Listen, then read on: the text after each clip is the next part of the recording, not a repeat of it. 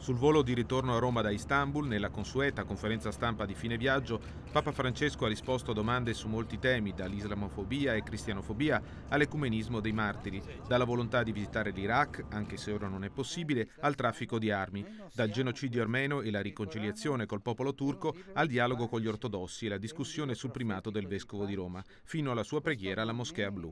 Ecco una parte della sua risposta sull'islamofobia e il terrorismo io capisco questo eh, e credo che, almeno io credo sinceramente, che non si può dire che tutti gli islamici sono terroristi, non si può dire.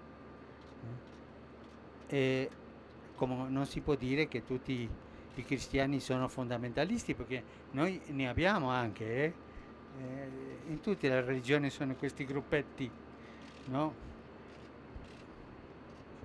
E io ho detto al Presidente, ma sarebbe bello che tutti i leader, leader, islamici, siano leader politici, leader religiosi, leader accademici, dicano chiaramente eh, e condennino quello, no?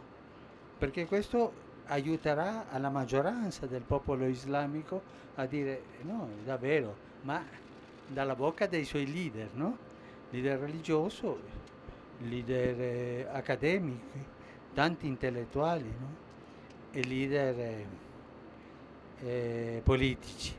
Questa è stata la mia risposta che, perché noi tutti abbiamo bisogno di una condanna mondiale.